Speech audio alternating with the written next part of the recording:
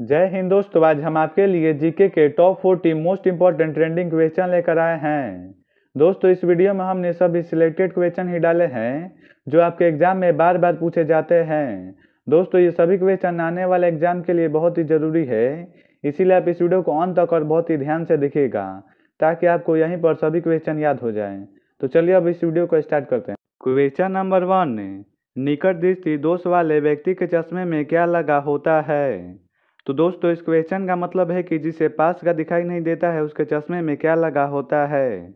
तो दोस्तों, जिसे पास का नहीं दिखाई देता है, उसके चश्मे में अवतल लेंस लगाया जाता है, यानी कि कनकेव लेंस और जिसे दूर का नहीं दिखाई देता है, उसके चश्मे में उत्तर लेंस यानी कि कन्वेक्स लेंस लगाया जाता है. क्वेश्चन नंबर टू सामान्य नागरिक संहिता, यानी कि यूनिफॉर्म सिविल कोड लागू करने वाला एकमात्र राज्य कौन है? तो दोस्तों यूनिफॉर्म सिविल कोड लागू करने वाला एकमात्र राज्य गोवा है। क्वेश्चन नंबर थ्री भारतीय राज्य की पहली महिला मुख्यमंत्री यानी कि चीफ मिनिस्टर सुचेता कृपलानी किस राज्य से थी? तो दोस्तों, भारत की पहली महिला मुख्यमंत्री उत्तर प्रदेश से थी। और दोस्तों, उत्तर प्रदेश के वर्तमान राज्यपाल आनंदीबेन पटेल हैं। और इसके वर्तमान मुख्यमंत्री योगी आदित्यनाथ हैं। और इसकी राजधानी लखनऊ है। क्वेश्चन नंबर फोर भारत में पहली बार राष्ट्रीय आपात यानी कि नेशनल इमरजेंसी कब घोषित किया गया? तो दोस्तों, भारत में पहली बार राष्ट्रीय आपात 26 अक्टूबर उन्नीस सौ बासठ को भारत चाइना युद्ध के समय घोषित किया गया था। और दोस्तों, भारत में अब तक तीन बार आपातकाल राष्ट्रीय आपात घोषित किया गया है, जिसमें पहला उन्नीस सौ बासठ में हुआ था दूसरा तीन दिसंबर उन्नीस सौ इकहत्तर को और तीसरा पच्चीस जून उन्नीस सौ पचहत्तर को। आप तीनों को अच्छे से याद रखिएगा कि क्वींस एग्ज़ाम में बार बार क्वेश्चन पूछे जाते हैं। Question number five. भारत का राष्ट्रीय गीत वंदे मातरम को पहली बार कब गाया गया?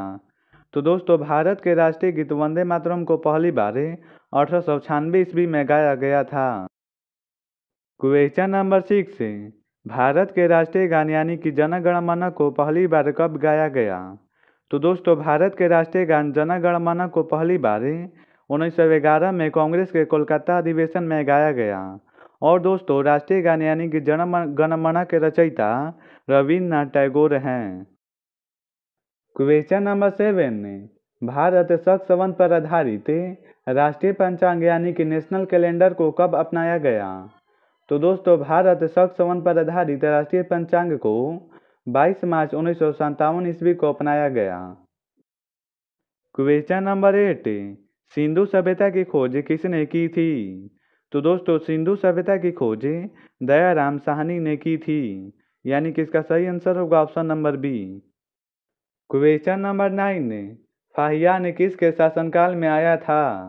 तो दोस्तों फाहियान जो कि एक विदेशी नागरिक था, जो चीन से भारत में आया था, वह चंद्रगुप्त द्वितीय के शासनकाल में भारत आया था। क्वेश्चन नंबर टेन जनगण मन को भारत के राष्ट्रगान के रूप में कब स्वीकृति मिली? तो दोस्तों जनगण मन को भारत के नेशनल एंथम के रूप में 24 जनवरी 1950 को स्वीकृति मिली। यानी कि इसका सही आंसर होगा ऑप्शन नंबर बी। दोस्तों, आप देख सकते हैं कि इस वीडियो में हमने जितने भी क्वेश्चन डाले हैं, वो आपके एग्ज़ाम के लिए कितना इंपॉर्टेंट है। इसीलिए आप इस वीडियो को अंत तक देखिएगा और अगर आपको किसी भी क्वेश्चन में कोई भी डाउट हो तो हमें कमेंट बॉक्स में ज़रूर पूछिएगा, ताकि इसके अगले पार्ट में हम उन सभी डाउट को कवर करें। क्वेश्चन नंबर इलेवन राष्ट्र ध्वज यानी कि नेशनल फ्लैग को संविधान सभा द्वारा कब अपनाया गया? तो दोस्तों राष्ट्र ध्वज यानी कि तिरंगा को संविधान सभा द्वारा 22 जुलाई उन्नीस सौ सैंतालीस को अपनाया गया। और दोस्तों, अक्सर एग्ज़ाम में पूछा जाता है कि तिरंगा का डिज़ाइन किसने तैयार किया है? तो दोस्तों, आप इसे भी याद रखिएगा कि तिरंगा का डिज़ाइन सिंगल वेंकैया ने तैयार किया है। दोस्तों, आप इन दोनों पॉइंट को अच्छे से याद रखिएगा क्योंकि इनसे एग्ज़ाम में अक्सर क्वेश्चन पूछे जाते हैं। चलिए अगले क्वेश्चन को देखते हैं। क्वेश्चन नंबर ट्वेल्व, एवरेस्ट पर चढ़ने वाली प्रथम महिला किस देश की थी? तो दोस्तों, माउंट एवरेस्ट पर चढ़ने वाली प्रथम महिला जापान की थी। और दोस्तों, माउंट एवरेस्ट पर चढ़ने वाली प्रथम महिला का नाम है जुंको ताबेई था। क्वेश्चन नंबर थर्टीन, भारत में बारूद का सर्वप्रथम उपयोग किसने किया था? तो दोस्तों, भारत में बारूद का पहली बार उपयोग बाबर ने किया था। क्वेश्चन नंबर फोर्टीन भारतीय संविधान के प्रस्ताव ने यानी कि प्रियम्बल ऑफ़ इंडियन कॉन्स्टिट्यूशन में भारत शब्द का प्रयोग कितने बार हुआ है? तो दोस्तों, भारतीय संविधान की प्रस्तावना में भारत शब्द का प्रयोग दो बार हुआ है। क्वेश्चन नंबर फिफ्टीन भारत की यात्रा पर आने वाले प्रथम ब्रिटिश सम्राट कौन था? तो दोस्तों, भारत की यात्रा पर आने वाला प्रथम ब्रिटिश सम्राट जॉर्ज पंचम था। क्वेश्चन नंबर सिक्सटीन भारत में पहली बार डाक टिकट किस वर्ष जारी किया गया? तो दोस्तों, भारत में पहली बार डाक टिकट अठारह सौ बावन ईस्वी में जारी किया गया था। क्वेश्चन नंबर सेवेंटीन राज्यसभा का पदेन सभापति कौन होता है? तो दोस्तों, राज्यसभा के पदेन सभापति भारत के उपराष्ट्रपति होते हैं। और दोस्तों, आप हमें कमेंट बॉक्स में कमेंट कीजिए कि भारत के वर्तमान उपराष्ट्रपति यानी कि वाइस प्रेसिडेंट कौन हैं? Question number eighteen Aishwarya Rai ने मिस वर्ल्ड का खिताब कब जीता था? तो दोस्तों, ऐश्वर्या राय ने मिस वर्ल्ड का खिताब उन्नीस सौ चौरानवे ईस्वी में जीता था। यानी कि इसका सही आंसर होगा option number C question number nineteen देश में सबसे पहले सूर्य उदय किस राज्य में होता है? तो दोस्तों, देश में सबसे पहले सूर्य उदय अरुणाचल प्रदेश में होता है। और दोस्तों, आप यहाँ मैप पर देख सकते हैं कि अरुणाचल प्रदेश भारत का सबसे पूर्वी राज्य है और सूरज भी पूर्व से ही निकलता है, इसीलिए अरुणाचल प्रदेश में, देश में सबसे पहले सूर्य उदय अरुणाचल प्रदेश में होता है।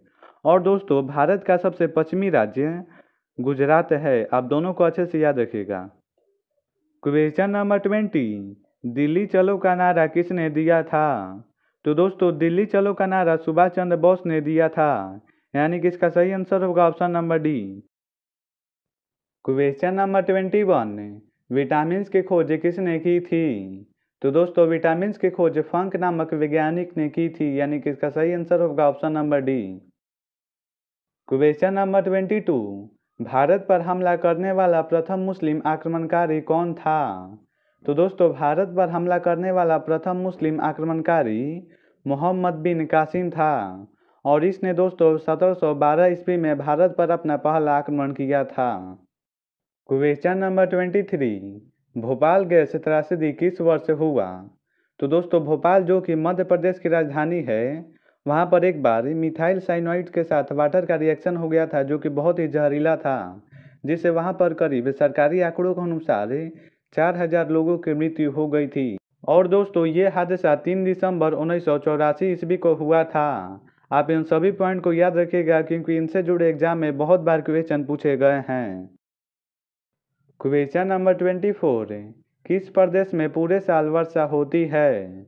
तो दोस्तों विषुवतीय प्रदेश में पूरे साल वर्षा होती है, यानी कि जो जगह इक्वेटर के पास मौजूद है, वहाँ पर पूरे साल वर्षा होती है। क्वेश्चन नंबर ट्वेंटी फाइव है। भारत में विद्युत रेलगाड़ी यानी कि इलेक्ट्रिक ट्रेन का संचालन किस वर्ष में आरंभ हुआ था? तो दोस्तों, भारत में इलेक्ट्रिक ट्रेन का संचालन 1925 ईस्वी में आरंभ हुआ। क्वेश्चन नंबर ट्वेंटी सिक्स मानव शरीर में भोजन के पाचन के संदर्भ में लाइपेज का स्राव कहाँ से होता है? तो दोस्तों, मानव शरीर में भोजन के पाचन के संदर्भ में लाइपेज का स्राव अमाशय यानी कि स्टोमेज से होता है। Question number twenty seven. Electric heat अल्कोइल के निर्माण में किस पदार्थ का उपयोग किया जाता है? तो दोस्तों, जो इलेक्ट्रिक हीटर होता है, उसके कोयल के निर्माण में नाइक्रोम के वायर का उपयोग किया जाता है। Question number twenty eight. Vitamin निम्न में से किसमें सहायता नहीं करता है? तो दोस्तों क्वेश्चन है कि विटामिन इनमें से, यानी कि चारों ऑप्शनों में से किस काम में सहायता नहीं करता है? तो दोस्तों, आपको पता होगा कि विटामिन पाचन क्रिया में सहायता नहीं करता है। Question number twenty nine dynamo का सिद्धांत किस नियम पर आधारित है? तो दोस्तों डायनेमो का सिद्धांत फेराडे के नियम पर आधारित है। Question number thirty Siddhi Vinayak मंदिर कहाँ स्थित है? तो दोस्तों सिद्धि विनायक मंदिर मुंबई में स्थित है। क्वेश्चन नंबर थर्टी वन, विश्व की सबसे गहरी झील कौन सी है? तो दोस्तों, विश्व की सबसे गहरी झील रूस में स्थित बेकाल झील है। यानी कि इसका सही आंसर होगा option number B? Question number thirty two, सीमा सुरक्षा बल यानी कि बीएसएफ, बॉर्डर सिक्योरिटी फोर्स की स्थापना किस वर्ष हुई? तो दोस्तों, बीएसएफ का स्थापना 1965 में हुआ था और इसका एग्जैक्ट डेट है एक दिसंबर उन्नीस है question number thirty three. Protein बनाने के लिए कितने अमीनो अम्ल की आवश्यकता होती है? तो दोस्तों, प्रोटीन का निर्माण करने के लिए कुल 20 अमीनो अम्ल की आवश्यकता होती है। यानी कि इसका सही आंसर होगा option number D. Question number thirty four. Bharat में युद्ध की घोषणा करने का अधिकार किसे है? तो दोस्तों, अगर किसी के साथ भारत का युद्ध हुआ तो किसी भी देश के साथ तो इस युद्ध की घोषणा भारत के राष्ट्रपति करेंगे। और दोस्तों, आप हमें कमेंट बॉक्स में बताइए कि भारत के वर्तमान राष्ट्रपति कौन हैं? क्वेश्चन नंबर थर्टी फाइव अमेरिकी संसद को क्या कहा जाता है? तो दोस्तों, अमेरिकी संसद को कांग्रेस कहा जाता है, यानी कि इसका सही आंसर होगा option number B. Question number thirty six क्षेत्रफल की दृष्टि से विश्व का सबसे छोटा देश कौन सा है? तो दोस्तों, एरिया की दृष्टि से विश्व का सबसे छोटा देश वेटिकन सिटी है। Question number thirty seven RBI यानी कि रिज़र्व बैंक ऑफ़ इंडिया का मुख्यालय यानी कि हेडक्वार्टर कहाँ पर है? तो दोस्तों, आरबीआई का मुख्यालय मुंबई में स्थित है, यानी कि option number C question number thirty eight Panipat का सेकेंड बार यानी कि द्वितीय युद्ध कब लड़ा गया था? तो दोस्तों, पानीपत का द्वितीय युद्ध पंद्रह सौ छप्पन ईस्वी में हुआ था। और दोस्तों, पानीपत का प्रथम युद्ध इक्कीस अप्रैल पंद्रह सौ छब्बीस ईस्वी में हुआ। और पानीपत का तीसरा युद्ध चौदह जनवरी सत्रह सौ इकसठ ईस्वी में हुआ। आप तीनों को याद रखिएगा क्योंकि इनसे एग्ज़ाम में अक्सर क्वेश्चन पूछे जाते हैं। क्वेश्चन नंबर थर्टी नाइन प्रति वर्ष राष्ट्रीय मतदान दिवस यानी कि नेशनल वोटिंग डे कब मनाया जाता है? तो दोस्तों, हर साल राष्ट्रीय मतदान दिवस 25 जनवरी को मनाया जाता है। क्वेश्चन नंबर फोर्टी उच्चतम न्यायालय यानी कि सुप्रीम कोर्ट अपने दिए हुए फैसले पर पूर्ण विचार किस अनुच्छेद द्वारा करता है। तो दोस्तों, इसका सही आंसर होगा ऑप्शन नंबर बी अनुच्छेद एक सौ सैंतीस के द्वारा।